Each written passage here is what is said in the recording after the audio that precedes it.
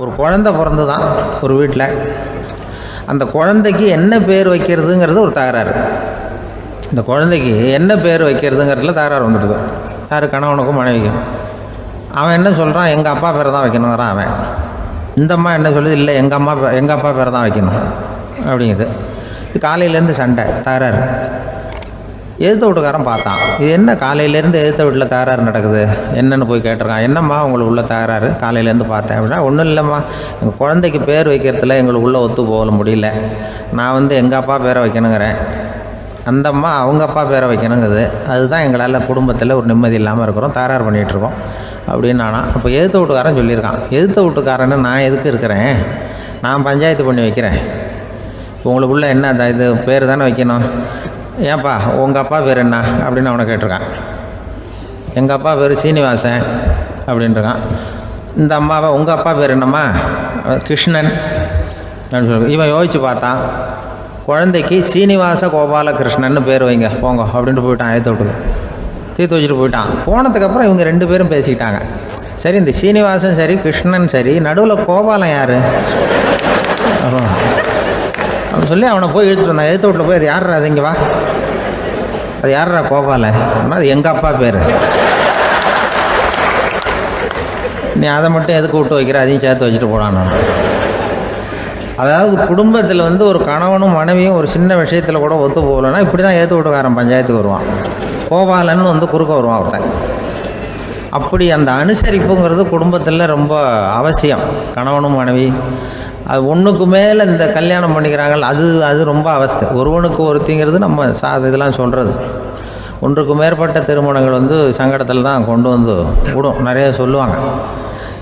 உலகத்திலேயே ஒரு பெரிய இது என்ன தெரியுங்களா? இயற்கை வந்து நிர்ணயம் பண்ணுது. இப்போ வந்து நம்ம சில பேருக்கு எனக்கு பொம்பளை புள்ள வேண்டாம் ஆம்பளை புள்ள வேண்டாம்னு சொல்லி இந்த ஸ்கேன் பண்ணி என்னென்னவோ பண்ணிகிட்டு இருக்கிறாங்கல்ல. ஆனால் இயற்கை வந்து அந்த ஐம்பது ஐம்பது ரேஷியோவை அது வந்து மெயின்டைன் பண்ணிகிட்ருக்கு இந்த உலகத்தில் ஒரு அதிசயமான உண்மை என்னென்னா நூற்றி பதினாறு ஆம்பளை புள்ள பிறந்தா நூறு பெண் பொம்பளை புள்ள பிறகுதான். உலக அளவில் நூற்றி பதினாறு ஆம்பளை புள்ள பிறந்தா நூறு பொம்பளை புள்ள பிறகுது. இது எதுக்கு பதினாறு அதிகமாக பிறகுதுன்னா அந்த வாலிப வயசு அடையிறதுக்குள்ளே பதினாறு செத்து போகுது. பதினாறு அங்கங்கே ஓடுறது கொஞ்சம் முரட்டத்தனமாக போகிறதுனால செத்து போகுது. அந்த ஐம்பது ஐம்பது இந்த ஒருத்தருக்கு ஒருத்தங்கிற ரேஷியோவை இயற்கை வந்து மெயின்டைன் பண்ணிகிட்டு இருக்கு. அது ஒரு பெரிய அதிசயம். அதை விட பெரிய அதிசயம் என்னென்னா இந்த உலக யுத்தம் நடந்ததில்ல. முதல் உலக யுத்தம் ரெண்டாவது யுத்தம். அப்போ பார்த்துருக்குறாங்க கணக்கு எடுத்துருக்குறாங்க. அந்த யுத்தம் முடிஞ்ச பிறகு நூற்றி பதினாறு ஆம்பளை பிள்ளைக்கு பதிலாக நூற்றி அறுபது நூற்றி எழுபது பிறக்க ஆரம்பிச்சுதான். நூறு பெண் குழந்தைக்கு நூற்றி எழுபது நூற்றி எண்பது ஆண் குழந்தை. இது எதுக்குன்னா அந்த போரில் செத்து போகுதில்ல ஆம்பளை பிள்ளைகள். அதை ஈடுகட்டுறதுக்காக அதிகமாக பிறக்க ஆரம்பிச்சிருக்கு. அந்த அளவுக்கு வந்து இயற்கை வந்து ஒரு பெரிய ரேஷியோவை மெயின்டைன் பண்ணுது. அதாவது ஒருவனுக்கு ஒருத்திங்கிறத அது சொல்லிகிட்டு இருக்கு. புறாவெல்லாம் வளர்த்திங்கன்னா நான் கூட புறா வளர்த்துருக்குறேன் ஊரில். புறா வளர்த்திங்கன்னா ஒரு ஒரு தடவைக்கு ரெண்டு முட்டை தான் விடும். ஒரு வீட்டுக்கு. அந்த ரெண்டு முட்டையும் குஞ்சு பறிச்சுன்னா அதில் ஒன்று வந்து ஆணாக இருக்கும் ஒன்று பொண்ணாக இருக்கும். அது எந்த முட்டை ஆண் எந்த முட்டை பெண்ணுங்கிறத இயற்கை நிர்ணயம் பண்ணுது. அதை வந்து நம்ம மாற்றவே முடியாது. ரெண்டையும் அந்த பெண்ணாகவோ பெண்ணாவோ ரெண்டையும் ஆணாவோ மாற்ற முடியாது நம்ம. அதனால் அந்த இயற்கையை புரிஞ்சுக்கிட்டு நாம் நடந்துக்கணும். அதனால தான் ஒரு ஒரு கணவன் ஒரு மனைவி. அதான் ஒரு க ஒருத்தருக்கு ஒருத்தங்கிறது. ஒன்றுக்கு மேலேனா சங்கடம் தான். ஒரு ஒரு பஸ்ஸில் வந்து ரெண்டு ரெண்டு ரெண்டு பெண்கள் வந்துக்கிட்டு இருந்தாங்களாம். பஸ்ஸு பிரயாணம். ரெண்டு பெண்கள் வந்து பக்கத்து பக்கத்தில் உட்காந்துருக்காங்க அந்த கண்டக்டரை கூப்பிட்ருக்காங்க வாயா அப்படின்னு அந்த ஒரு அம்மா கூப்பிட்ருக்கு என்னம்மா அப்படின்ட்டுருக்கார் வந்து இந்த ஜன்னலை திறந்து விட்டு போ அப்படின்னு சரின்னு அதுக்கு பக்கத்தில் இருந்த ஜன்னலை திறந்து விட்டு அவர் போயிட்டார். பக்கத்தில் இருந்தாமல் உடனே இங்கே ஐயா மறுபடியும் ஐயான்னு கூப்பிட்ருக்கு வந்து என்ன இந்த ஜன்னலை மூடி விட்டு போ அப்படின்ட்டுருக்கு மூடி விட்டு போனார். மறுபடியும் அந்த முன்னாடி கூப்பிட்டது வாமா வாயா வாயான்னு மறுபடியும் கண்டக்டரை கூப்பிட்டு என்ன இந்த பார் இந்த ஜன்னலை வந்து நீ மூடி வச்சின்னா நான் மூச்சு திணறி செத்து போடுவேன். அப்புறம் உடனே பக்கத்தில் இந்த அம்மா தபாரியா அந்த அம்மா பேச்சை கேட்டுட்டு நீ திறந்து வச்சின்னா நான் குளிர் தாங்காமல் செத்து போடுவேன். அப்படின்னு அவர் தலையை பிச்சுக்கிறார் கண்டக்டர் என்னடா பெரிய ரொம்ப போச்சு எனக்கு கொஞ்சம் தூரம் பிரயாணம் இதில் கூட அட்ஜஸ்ட் பண்ணி போகக்கூடாதா? அப்படின்னு. அப்போ அந்த பஸ்ஸில் பின்னாடி ஒருத்தன் கடைசி சீட்டில் வெயில் தாங்காமல் சட்டையெல்லாம் கட்டி போட்டுட்டு ஒரு கிராமத்து ஆள் பீடி குடிச்சிட்டு வரான். அவர் கூப்பிட்ருக்கான் அந்த ஆள் அந்த கண்டக்டர் இங்கே வாயா அங்கே என்ன தகராறு அப்படின்னு. அந்த எதிர்த்து வீட்டுக்காரன் வந்தானே முன்னாடி பஞ்சாயத்துக்கு அது மாதிரி. கண்டக்டர் இங்கே வாயா அவன் ஏன் ஏன் நீ என்ன சொல்ல போகிற அப்படின்ட்டு வந்திருக்கான். சட்டையெல்லாம் கேட்டு போட்டு பீடி குடிக்கிறான் பீடி புகையை ஊதி விட்டு அங்கே என்ன தகராறு அப்படின்னு கேட்டிருக்கான். ஒன்றும் இல்லையா அந்த அம்மா வந்து ஜன்னலை திறந்தா செத்து போவேங்குது. இந்த அம்மா ஜன்னலை மூடுனா செத்து போவேங்கிறது. நான் என்னையா பண்ணுறது ஒரு ஆள். இதுக்கு ஏன் ஏன் கவலைப்படுறேன் நான் சொல்கிறத கேள்வி நான் தீர்த்து வைக்கிறேன் பிரச்சனையை அப்படின்னு சொல்லிவிட்டு பீடியை எடுத்துக்கிட்டு புகையை ஊதிவிட்டு சொன்னானா. கொஞ்ச நேரம் அந்த ஜன்னலை மூடி வை அந்த அம்மா செத்து போவோம் அப்புறம் திறந்து வை இந்த அம்மா செத்து போவோம் நாம் நிம்மதியாக போகலாம் அப்படின்னு சொல்லிட்டு பீடி குடிக்க ஆரம்பிச்சிட்டான். அவருக்கு கோவம் வந்துட்டது கண்டக்டருக்கு நீ உனக்கு என்ன நீ பாட்டுக்கு சொல்லிட்டு போடுவ? அந்த ரெண்டு அம்மாவும் செத்து போச்சுன்னா அவங்க வீட்டுக்காரனுக்கெல்லாம் யார் பதில் சொல்கிறது அப்படின்னா கவலையே படாத ரெண்டு பேருக்கும் நான் தான் வீட்டுக்காரன். அதனால தான் அந்த யோசனையை சொன்னேன் அவங்ககிட்ட. அப்புறம் இதுதான் அந்த ஒன்றுக்கு மேலே போச்சுன்னா அது இயற்கைக்கு விரோதம். இப்படிலாம் ஆகும். அதனால தான் அவன் அவ்வளவு ஒன்றுமே வேண்டான்ட்டு கடைசி பெஞ்சு இதில் போய் சீட்டில் உட்காந்துக்கிட்டான் அப்படி இயற்கையை புரிஞ்சுக்கிட்டு வாழணுங்கிறது முக்கியம். குடும்பத்தில் வந்து கணவனுடைய பங்கு என்ன மனைவினுடைய பங்கு குழந்தை குட்டிகள்லாம் சொல்லுவாங்க. அப்படி இருக்கணும். கணவன்கிறவனுக்கு நிறைய சகிப்புத்தன்மை தேவைப்படுது. ஒரு ஆள் இருந்தார். விலங்குகள் பேரில் அவருக்கு ரொம்பவும் பிரியம். அதனால் தன்னுடைய வீட்டில் ஒரு நாயை வளர்த்தார். அதே மாதிரி கழுதையையும் வளர்த்தார். அந்த கழுதை அவர் வீட்டு கொல்லை பக்கத்தில் நின்றுக்கிட்டு இருக்கோம். ஏதாவது பொதி சுமக்கிற வேலை இருந்ததுன்னா அதை கவனிச்சிக்கும் அந்த நாய் வந்து வீட்டுக்குள்ளே இருக்கும். நாய்க்கு அந்த வீட்டில் ராஜ உபசாரம் தான். அதுக்கு அந்த வீட்டில் ஏகப்பட்ட மரியாதை. குளிக்கிறதுக்கு தனியாக சோப்பு ரெண்டு வேளையும் பால் பிஸ்கட்டு மத்தியானம் சாப்பாடு. அதுக்கு ஏதாவது உடம்பு சரியில்லைன்னா உடனே ஆஸ்பத்திரி வைத்தியம். ரொம்ப கொடுத்து வச்ச நாய். அந்த வீட்டு தலைவர் வெளியில் அப்படியே நடைப்பயிற்சி போனால் கூடவே இதுவும் போகும். அவர் மட்டும் தனியாக எங்கேயாவது வெளியில் போயிட்டு வந்தால் வீட்டுக்கு வந்த உடனே அந்த நாய் அவர்கிட்ட ஓடி வரும். அப்படியே எழும்பி முன்னங்கால் ரெண்டையும் அவர் தோல் மேலே போட்டுக்கும். அவர் சிரிச்சுக்கிட்டே அது தலையில் செல்லமாக தட்டுவார். அவர் ஈசி சேரில் சாஞ்சுக்கிட்டு டிவி பார்ப்பார். பேப்பர் படிப்பார். அப்போலாம் அந்த நாய் அவருடைய காலடியில் படுத்துக்கும். அப்போ கூட அவர் அது தலையை செல்லமாக தடவி கொடுப்பார் அந்த நாய் படுக்கிறதுக்குன்னே ஒரு மெத்தை. சில சமயம் அது அங்கே இருக்கிற மேஜை நாற்காலி மேலே கூட ஏறி விளையாடும். சோஃபாவில் ஏறி உட்காந்துக்கும் இவ்வளவு செல்வாக்காக வளர்ந்தது அந்த நாய். இதையெல்லாம் அந்த கழுதை பார்த்துக்கிட்டே இருக்குது கொல்லை பக்கத்துலேருந்து பார்த்துட்டு அது யோசிக்க ஆரம்பிச்சுதான். என்ன இது?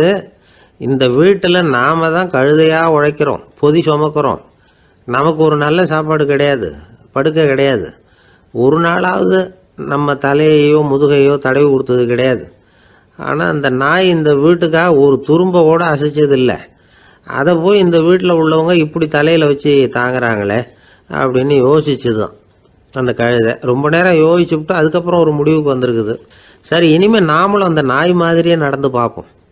அது மாதிரியே பிஹேவ் பண்ணுவோம். அப்போவாவது நமக்கும் அந்த மரியாதை கிடைக்குதா பார்க்கலாம் அப்படின்னு ஒரு திட்டம் போட்டுது மனசுக்குள்ள. உடனே அந்த திட்டத்தை செயல்படுத்தவும் ஆரம்பிச்சுது. அதாவது அந்த வீட்டில் அந்த நாய் என்னென்ன செய்யுதோ அதையெல்லாம் இதுவும் செய்ய ஆரம்பிச்சிட்டுது. அந்த வீட்டு எஜமான் வந்து எங்கேயோ வெளியில் சுற்றிவிட்டு ரொம்ப அசந்து போய் வீட்டுக்கு திரும்பி வந்துக்கிட்டு இருந்தான். உடனே இந்த கழுதை என்ன பண்ணுச்சு தெரியுமா? அவங்ககிட்ட ஓடி போச்சு. ஓடி போய் அந்த நாய் என்ன பண்ணுமோ அது மாதிரியே பண்ணிச்சு. அதாவது அந்த ஆள் தோல் மேலே தன்னுடைய முன்னங்கால் ரெண்டையும் தூக்கி போட்டுவிடுது அந்த ஆள் பயந்து போயிட்டான். அவனுக்கு ஒன்றும் புரியல. இது ஏன் இப்படி பண்ணுதுன்னு கொஞ்சம் ஒதுங்கி நின்னான். இது அவனை சுற்றி சுற்றி வருது. நாய் மாதிரி வாழை ஆட்டிக்கிட்டே சுற்றி சுற்றி வருது கழுதை. அவன் கிடுகிடுன்னு வீட்டுக்குள்ளே ஓடினான். இதுவும் பின்னாடியே ஓடிச்சு. அங்கே போய் நாய் மாதிரி மேஜை நாற்காலி மேலே ஏறி குதித்து விளையாட ஆரம்பிச்சுட்டுது. சோஃபாவில் ஏறி உட்காருது. மேஜையில் இருந்த சாமான்லாம் கீழே விழுந்து உடையுது. கழுதை மேஜை மேலே ஏறி குதிச்சா என்னத்துக்கு ஆகும்? அந்த ஆள் பார்த்தான். சரி இந்த கழுதைக்கு என்னமோ ஆயிட்டுது அப்படின்னு முடிவு பண்ணான். ஒரு நல்ல கயராக பார்த்து கொண்டான்னா அது கால்லையும் கழுத்துலையும் கட்டினான்.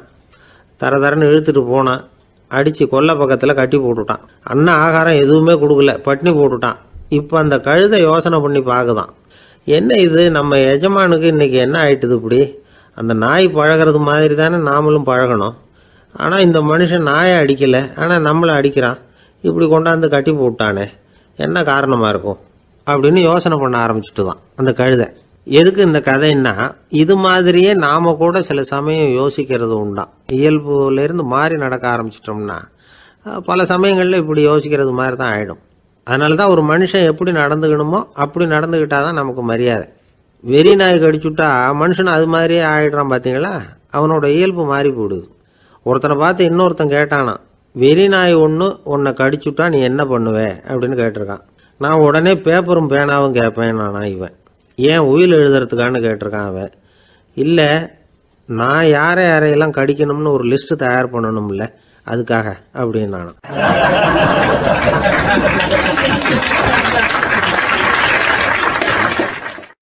அது ஒரு புகைவண்டி நிலையம்.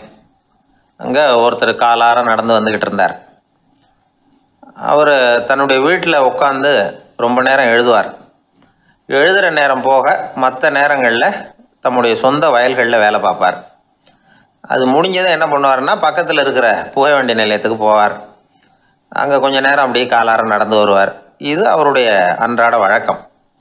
அன்னைக்கு அது மாதிரி தான் அவர் நடந்து வந்துக்கிட்டு இருக்கிறார். அந்த சமயத்தில் அங்கே நடைமேடையில் ஒரு அம்மையார் நின்றுட்டு இருக்கிறாங்க. இவரை கண்டதும் கையை தட்டி கூப்பிட்டாங்க. இங்கே கொஞ்சம் வர முடியுமா? அப்படின்னாங்க. இவர் போனார். என்னங்கன்னு விசாரித்தார் அந்த அம்மையார் விவரம் சொன்னார். ஐயா நானும் என்னுடைய வீட்டுக்காரரும் இங்கே வந்தோம். அதுவும் நிற்கிதே அந்த ரயிலில் ஏறி ஊருக்கு போகணும். என்னுடைய வீட்டுக்காரர் அதுவும் அந்த உணவு விடுதிக்கு போயிருக்கார். இன்னும் வரல. அவர் வர்றதுக்குள்ளே ரயில் புறப்பட்டுரும் போல இருக்குது நீங்கள் ஓடி போய் அவரை அழைச்சிக்கிட்டு வர முடியுமா? அப்படின்னு கேட்டாங்க. சரின்னார் இவர். உடனே அந்த அம்மா தன்னுடைய கணவர் எப்படி இருப்பார்? அப்படிங்கிற அடையாளங்களை கொஞ்சம் சொல்லி அனுப்புனாங்க. போய் தேடிட்டு இருக்க வேண்டாமேங்கிறதுக்காக பார்க்குறதுக்கு பார்க்கறதுக்கு இப்படி இருப்பார். இந்த மாதிரி ஆடை அணிஞ்சிருப்பார். அப்படின்னு விவரமாக சொன்னாங்க. அதை இவர் கவனமாக கேட்டுக்கிட்டார். நீங்கள் போய் அழைச்சிட்டு வாங்க. வந்த உடனே உங்களுக்கு உண்டான கூலியையும் கையோடு கொடுத்து விட்றேன். அப்படின்னாங்க அந்த அம்மா. இவர் போனார். அந்த அம்மா சொன்ன அடையாளங்களை வச்சு அவர் வீட்டுக்காரரை கையோட கூட்டிகிட்டு வந்துட்டார். கொண்டுட்டு வந்து அந்த அம்மாக்கிட்ட ஒப்படைச்சார். உடனே அவரும் ஏற்கனவே சொன்ன பிரகாரம் அவருக்கான கூலி பணத்தையும் கொடுத்தாங்க. அவரும் எதுவும் மறுப்பு சொல்லாமல் அதை வாங்கிட்டார் வாங்கிக்கிட்டு திரும்பினார். அந்த சமயத்தில் எதிரில் வந்த ஒருத்தர் அவர் அடையாளம் கண்டுபிடிச்சிக்கிட்டார். அவங்க ரெண்டு பேரும் பேசிக்கிறது இவங்க காதில் விழுந்தது. அப்போ தான் இவங்களுக்கு அது புரிஞ்சுது.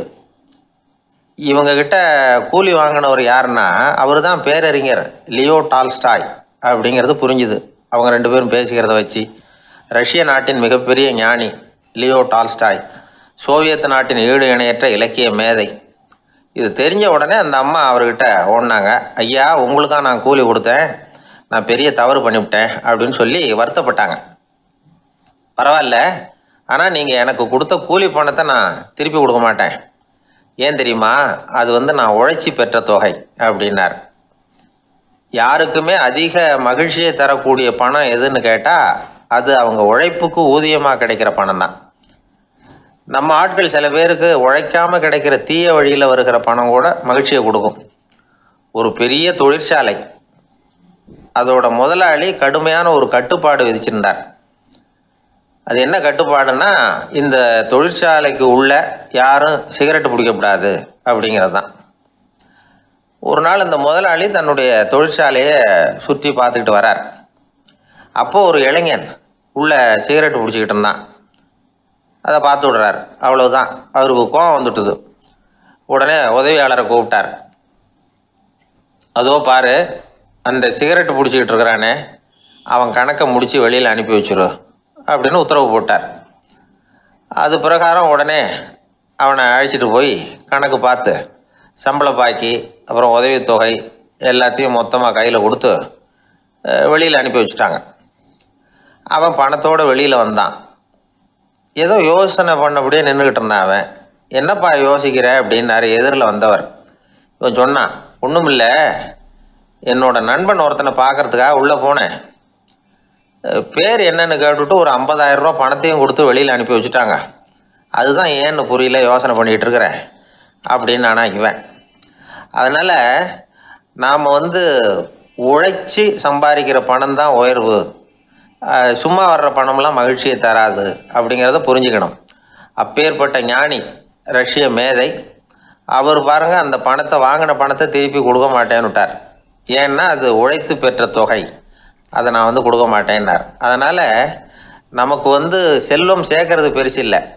அந்த சேருகிற செல்வம் நமக்கு மகிழ்ச்சியை கொடுக்கணும். அதுக்கு என்ன வழின்னா நாம் வந்து உழைத்து சம்பாதிக்கணும் அப்படிங்கிறத அதிலிருந்து புரிஞ்சுக்க வேண்டியது ரொம்ப அவசியம். அதனால் உழைப்போம் உயர்வோம். இதுதான் வெற்றியின் ரகசியம்.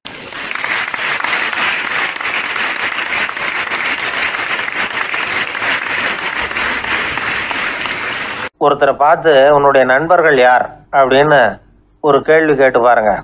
கொஞ்சம் யோசிச்சு யோசிச்சு பதில் சொல்லுவாங்க. அவங்கக்கிட்டேயே உன்னுடைய எதிரிகள் யார்? அப்படின்னு கேளுங்க. கடகடன்னு ஒப்பிச்சிருவாங்க. நம்ம மனசு இருக்க அது எப்படின்னா நம்ம நண்பர்களை விட எதிரிகளை அது நல்லா ஞாபகத்தில் வச்சுக்கும். இது ஒரு ஆச்சரியமான உண்மை.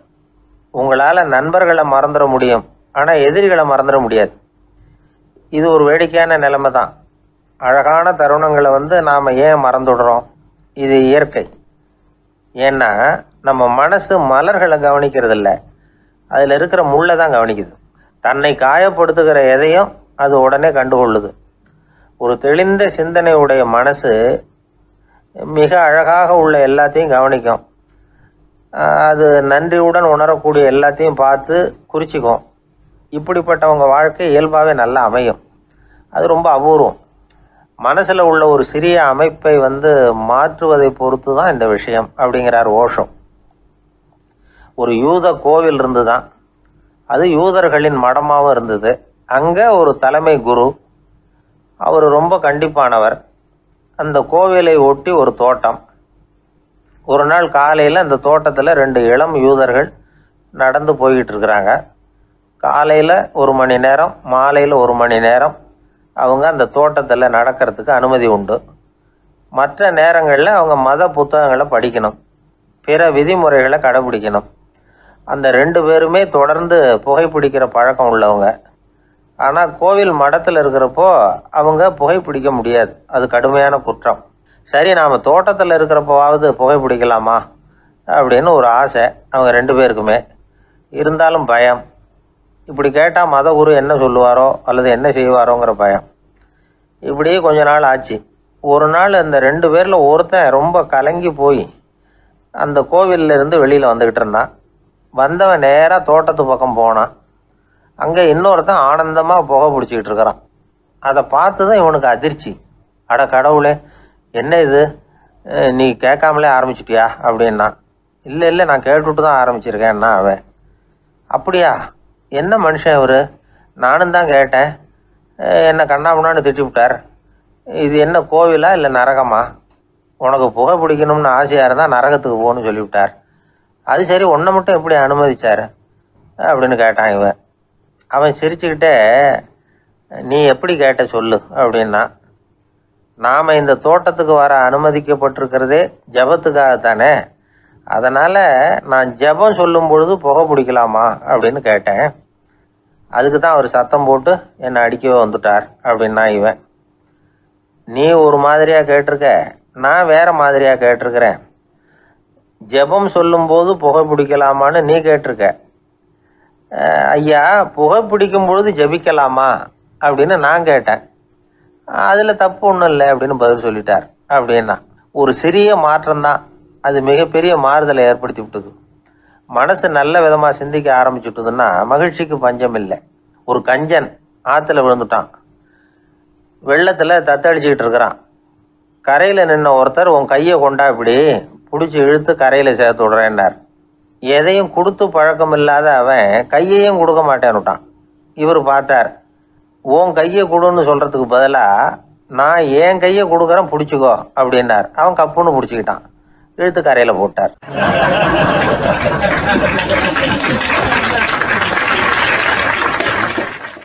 இந்த உலகத்தில் எத்தனை வகையான மனிதர்கள் இருக்கிறாங்க? ஒவ்வொரு மனிதனுமே ஒவ்வொரு வகை அப்படிங்கிறாங்க விஞ்ஞானிகள். மனிதர்களை மூன்று வகையாக பிரிக்கலாம் அப்படின்னு சொல்கிறாங்க மெய்ஞானிகள். இவங்கள பற்றிலாம் ஏற்கனவே நாம் பேசியிருக்கிறோம். இப்போ டாக்டர் எட்வர்டு பேட்ச் அப்படிங்கிற நிபுணர் என்ன சொல்கிறார் தெரியுமா? மனிதர்களை ஏழு வகையாக பிரிக்கலாம்ங்கிறார். மனிதர்களின் மனநிலை அடிப்படையில் அவங்கள ஏழு விதமாக வகைப்படுத்துகிறார் அவர். சரி அது என்ன ஏழு வகை? முதல் வகை என்னன்னா பயந்த குணம் உள்ளவங்க. சார் ரொம்ப பயந்த சுபாவம். வீட்டில் கூட வாயே திறக்க மாட்டார். சாப்பிட போகிறப்ப மட்டும்தான் கொஞ்சம் வாயை திறப்பார். அப்புறம் மூடிக்குவார். அப்படின்னு சில பேரை பற்றி நாம் பேசிக்கிறது உண்டு.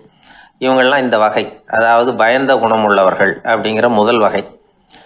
சரி ரெண்டாவது வகை என்னன்னா சஞ்சலப்படுகிறவர்கள். எதுக்கு எடுத்தாலும் கலக்கம் குழப்பம். இப்படியே காலம் தள்ளிட்டு இருப்பாங்க. பல பேர் பார்த்துருப்பீங்க. அவங்கெல்லாம் இந்த வகை. மூணாவது வகை என்னென்னா யதார்த்த உலகை மறந்து கற்பனை உலகத்திலேயே மிதக்கிறவங்க. இளைஞர்கள் கவிஞர்கள் இப்படி பல பேர் இருக்கிறாங்க. எப்போ பார்த்தாலும் கற்பனை உலகத்திலேயே மிதந்துக்கிட்டு இருப்பாங்க. கிட்டத்தில் போய் என்னங்க ஒரு மாதிரியாக இருக்கிறீங்க? அப்படின்னு கேட்டு பாருங்கள் அவங்களெல்லாம். ஏதோ ஒரு அற்ப புழுவை பார்க்கறது மாதிரி உங்களை பார்ப்பாங்க. அதுவும் அந்த வானத்து நிலாவை பாருங்கள். அது என்னை வா வான்னு கூப்பிடுது. எனக்கு சீக்கிரத்தில் ஒரு நாள் சிறகுகள் முளைக்கும். சிறகடித்து வானத்தில் பறந்து போவேன். அந்த செல்ல நிலாவை கொஞ்சிவிட்டு வருவேன். இப்படிலாம் பேசிகிட்டு இருப்பாங்க. கொஞ்சிறது அப்புறம் இருக்கட்டும் இப்போ கஞ்சிக்கு வழியே பாருப்பா அப்படின்னா அதை காதில் வாங்க மாட்டாங்க. நாம் ஏதோ இந்த உலகத்தை அனுபவிக்க தெரியாதவர்கள் மாதிரி நம்மளை அவங்க கவனிப்பாங்க. இப்படி ஒரு ரகம். நாலாவது வகை மனிதர்கள் எப்படின்னா இவங்க தனிமை உணர்வு மிக்கவர்கள். இவங்க மற்றவங்களோட இயல்பாக நெருங்கி பழகிறதில்ல. தான் உண்டு தன்னுடைய வேலை உண்டுன்னு இருந்துட்டு போகிறவங்க அடுத்த வீட்டில் இருக்கிறவர் யார் அப்படின்னு கேட்டால் கூட அடுத்த வீடுன்னு ஒன்று இருக்கா? அப்படிங்கிறது மாதிரி நம்ம முகத்தை பார்ப்பாங்க. அவங்ககிட்ட மேற்கொண்டு நாம் என்னத்தை பேச முடியும்? இப்படி ஒரு வகை. ஐந்தாவது வகை மனிதர்கள் எப்படின்னா இவங்க வந்து மற்றவங்க செல்வாக்குக்கு உட்பட மறுப்பவர்கள். அடுத்தவங்களோட செல்வாக்குக்கு இவங்க ஆட்படுறதில்ல. நான் யார் தெரியுமான்னு கேட்டால் அதை தெரிஞ்சுட்டு எனக்கு என்ன ஆக போகுதும்பாங்க. இவங்கெல்லாம் அந்த ரகம். ஆறாவது வகை மனிதர்கள் எப்பவும் எதுலேயும் பற்று இல்லாமல் இருக்கிறவங்க. இது ஒரு துறவு மனப்பான்மை. இயல்பாகவே சில பேர் இப்படி உண்டு. அவங்களுக்கு எதுலேயும் ஒரு ஈடுபாடு இருக்காது. அப்படிப்பட்டவங்கெல்லாம் ஆறாவது வகை. ஏழாவது வகை மனிதர்கள் மற்றவங்க கவலையை தன்னுடையதாக ஆக்கிக்கிட்டு கவலைப்படுறவங்க. இவங்கெல்லாம் மகாத்மாக்கள். தாம் வேறு அடுத்தவங்க வேறு அப்படிங்கிற எண்ணம் இவங்களுக்கு வர்றதில்ல. அதனால் அடுத்தவங்களுக்கு ஒரு துன்பம் வந்ததுன்னா இவங்களால் சும்மா இருக்க முடியறதில்ல. ஆகக்கூடி இப்படி ஏழு விதமான மனிதர்களை அடையாளம் காட்டுறார் அந்த நிபுணர். இதில் நாம் எந்த வகையில் வர்றோம் அப்படிங்கிறத நாம தான் அடையாளம் கண்டுபிடிக்கணும். எனக்கு தெரிஞ்ச ஒரு மனிதர் உண்டு. அவர் ஒரு வித்தியாசமான வகை. எதையும் நடைமுறை சாத்தியமாக சிந்திக்கிறவர். எப்பவும் அடுத்தவங்களும் நல்லா இருக்கணும் நாமும் நல்லா இருக்கணும் அப்படின்னு ஆசைப்படுறவர். அவருக்கு ஒரு சமயம் திடீர்னு உடம்பு சுகம் இல்லாமல் போயிட்டுது. டாக்டர்கிட்ட போனார் பணம் கொடுத்தார் வைத்தியம் பார்த்துக்கிட்டார். அவர் எழுதி கொடுத்த மருந்து சீட்டை வாங்கினார். ஒரு மருந்து கடைக்கு போனார். பணம் கொடுத்தார் மருந்து வாங்கினார். அதை எடுத்துகிட்டு வீட்டுக்கு வந்தார். அதுக்கப்புறம் அந்த மருந்து அவர் சாப்பிடணும்ல சாப்பிடவே இல்லை. அப்படியே சும்மா வச்சுட்டார். அவரை பார்த்து கேட்டேன் ஏன் சார் இப்படி பண்ணுறீங்க வீண் செலவு தானே இது. நீங்கள் ஏன் டாக்டர்கிட்ட போய் பணம் செலவு பண்ணுனீங்கன்னு கேட்டேன். அவர் சொன்னார் டாக்டர் வாழணும் இல்லையா? அதனால தான் அப்படின்னார். சரி அப்புறம் ஏன் மருந்து வாங்கினீங்க? அப்படின்னு கேட்டேன். மருந்து கடைக்காரர் வாழணும் இல்லையா? அதனால தான் அப்படின்னார். சரி அப்புறம் ஏன் வாங்கின மருந்து சாப்பிடாம வச்சுட்டீங்க? அப்படின்னதுக்கு நான் வாழணும் இல்லையா? அதனால தான் அப்படின்னார். இவர் வாழ்க்கையை புரிஞ்சுக்கிட்டவர். இப்படி வாழ்க்கையை புரிந்து கொண்டு வாழ தெரிஞ்சுக்கணும். எந்த வகை மனிதர் நாம் அப்படிங்கிறத புரிஞ்சுக்கிட்டு வாழ்ந்தோம்னா வாழ்க்கையில் வெற்றி நிச்சயம்.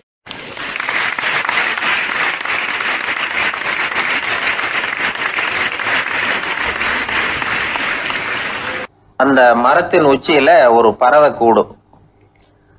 ஏதோ ஒரு பறவை கூடு கட்டியிருந்தது. அது என்ன பறவைன்னா ராஜாளி ஒரு குரங்கு அந்த மரத்து கிளையில தாவி தாவி குதிச்சுக்கிட்டு இருந்தது. அப்போ இந்த கூட்டில் இருந்த முட்டை அது கண்ணில் போட்டுட்டுது அதுக்கப்புறம் அது சும்மா இருக்குமா? விளையாட்டா ஒரு முட்டையை எடுத்தது. மரத்தை விட்டு கீழே இறங்குச்சு. கீழே ஒரு குப்பை மேட்டில் ஒரு கோழி சில முட்டைகளை அது பாட்டுக்கு இட்டு வச்சிருந்தது.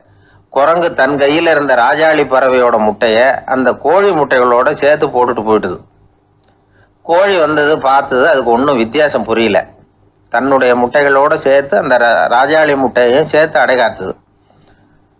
கொஞ்ச நாளில் குஞ்சுகள்லாம் பொறிச்சுது எல்லாம் முட்டை விட்டு வெளியில் வந்தது. ராஜாளி பறவையோட குஞ்சு அந்த கோழி குஞ்சுகளோடவே சேர்ந்து வளர்ந்தது. மற்ற கோழி குஞ்சுகள் போலவே இதுவும் குப்பையை கிளறிச்சு புழு பூச்சிகளை சாப்பிட்டது. காக்கைகள் தாக்கிறதுக்கு வந்ததுன்னா மற்ற கோழி குஞ்சுகள் மாதிரியே இதுவும் பயந்து போய் தாய் கோழியின் சிறகுகளுக்கு உள்ளே வந்து ஒளிஞ்சிக்கும். இப்படியே கொஞ்ச காலம் போச்சு. குஞ்சுகள்லாம் வளர்ந்து பெருசாகிட்டுது சிலது சேவல்களாச்சு சிலது கோழிகளாச்சு. அந்த ஒன்று மட்டும் ராஜாளி ஆச்சு. ஆனால் ஒரு விஷயம். தான் ஒரு ராஜாளிங்கிறது அந்த பறவைக்கு தெரியாது. தன்னையும் ஒரு கோழின்னே அது நினச்சிக்கிட்டு இருக்கு. அப்படி நினச்சிக்கிட்டு குப்பமேட்டை கிளறிக்கிட்டு இருக்கு. ஒரு நாள் சாயந்தர நேரம். இந்த ராஜாளி பறவை கீழே அது பாட்டுக்கு வழக்கம் போல குப்பையை கிளறிக்கிட்டு இருக்குது. அப்போ அண்ணாந்து பார்க்குது வானத்தில் உயரத்தில் கூட்டமாக ராஜாளி பறவைகள் உல்லாசமாக வட்டம் அடித்து பறந்துக்கிட்டு இருக்கு. அதே இது பார்க்குது இதுக்கு மனசுக்குள்ளே ஏக்கமாக போச்சான் அப்போது இதுக்கு ஆண்டவன் பேரில் கோபம் வந்துதான் ஆண்டவனுக்கு என் பேரில் ஏன் இந்த ஓர வஞ்சனை? என்னையும் ஒரு ராஜாளியா படைச்சிருந்தா நானும் கூட இந்நேரம் ஆகாயத்தில் உல்லாசமாக பறந்துக்கிட்டு இருப்பேனே அப்படின்னு நினச்சி வருத்தப்பட்டுதான். இது வேடிக்கையாக இருக்குல்ல? ஒரு வகையில் பார்த்தா நாம் கூட இந்த ராஜாளி பறவை மாதிரி தான் வாழ்ந்துக்கிட்டு இருக்கோம் அப்படிங்கிறார் ஒரு உளவியல் நிபுணர். நம்மால எவ்வளவு வேலை செய்ய முடியும்? அப்படின்னு நாம் நினச்சிக்கிட்டு இருக்கிறோமோ அதை விட பல மடங்கு நம்மால் வேலை செய்ய முடியுமா? பல மடங்கு வேகமாகவும் வேலை செய்ய முடியும் அப்படிங்கிறார் அவர். நம்முடைய முழுமையான பலம் என்னங்கிறது நமக்கே தெரியறதில்ல. அதுதான் கஷ்டம். நம்முடைய பலம் தெரியாததுனால தான் நாம் எதுக்கு எடுத்தாலும் பயந்துக்கிட்டு இருக்கிறோம். ஒரு ஆள் இருந்தான். அவனுக்கு எப்படின்னா கோழியை கண்டா பயப்படுவான். ஏன் கோழியை கண்டா பயம்னா அவனுக்கு மனசுக்குள்ள தான் ஒரு புழுன்னு நினைப்பு. தன்னை ஒரு புழுவா நினைக்கும் பொழுது புழுன்னா கோழி வந்து கொத்தும்ல அதனால கோழியை கண்டு பயப்பட ஆரம்பிச்சிட்டான். இவன் நடுங்கிடுவான் எதிரில் கோழி வந்ததுன்னா உடம்பு பூரா நடுங்க ஆரம்பிச்சிடும் வீட்டில் இருக்கிறவங்க பார்த்தாங்க. இவனை அழைச்சிட்டு போய் ஒரு மனநோய் மருத்துவமனையில் சேர்த்துட்டாங்க. அங்கே உள்ள டாக்டர் இவருக்கு சிகிச்சையெல்லாம் கொடுத்தார். ஒரு வாரம் இவனை தங்க வச்சு வேண்டிய சிகிச்சையெல்லாம் கொடுத்து மன ரீதியாக அவனை மாற்றி சரி இனிமேல் நீ வீட்டுக்கு போகலாம்னு சொல்லி அனுப்பி வச்சார். வீட்டுக்கு புறப்பட்டான். அப்போ சொன்னார் இதை பாருப்பா நீ வீட்டுக்கு போகலாம் நேராக வீட்டுக்கு போ. நல்லா ஞாபகம் வச்சுக்கோ. இனிமே வந்து நீ ஒரு புழு கிடையாது மனுஷன். தைரியமாக புறப்படு போயிட்டு வா. அப்படின்னு சொல்லி வழி அனுப்பி வச்சார். சரிங்க டாக்டர்னு சொல்லிவிட்டு இவன் புறப்பட்டு போனான். பாதி வழி போயிருப்பான். லேசாக நிமிர்ந்து பார்க்குறான் எதிரில் ஒரு கோழி வந்துக்கிட்டு இருக்கு. அது பாட்டுக்கு சாதாரணமாக நடந்து வந்துக்கிட்டு இருந்தது. அவ்வளவுதான். இவன் உடம்பு கிடுகிடுன்னு ஆட ஆரம்பிச்சுட்டுது. திரும்பி ஓடி வந்துட்டான். டாக்டர் கேட்டார் ஏன்ப்பா திரும்பி ஓடி வந்துட்டேன்னு? பாதி தூரம் போயிட்டேன் டாக்டர். எதிரில் ஒரு கோழி வந்துக்கிட்டு இருக்குது. அதான் பயமாக இருந்தது வந்துட்டேன்னா. டாக்டருக்கு ஒரு மாதிரி ஆகிடுது அவர் சொன்னார் இதை பாருப்பா நான் தான் சொன்னேனே. நீ ஒரு புழு இல்லை மனுஷன். இனிமே நீ புழு கிடையாது. நீ ஒரு மனுஷன். நீ ஒரு புழு இல்லைங்கிறது இன்னமும் உனக்கு புரியலையா? அப்படின்னார் டாக்டர். நான் புழு இல்லைங்கிறது எனக்கு தெரிஞ்சுட்டுது டாக்டர். இது அந்த கோழிக்கு தெரியுமான்னு தெரியலையே அப்படின்னா. இவெல்லாம் எந்த காலத்தில் மாறுறது? அதனால் வாழ்க்கையில் வெற்றி பெறணும் அப்படின்னு நினைக்கிறவங்க யாராக இருந்தாலும் தன்னுடைய பலம் என்ன அப்படிங்கிறத முதல்ல புரிஞ்சுக்கணும். தன்னுடைய சக்தியை புரிஞ்சுக்கிட்டவன் வெற்றி பெறுவது நிச்சயம்.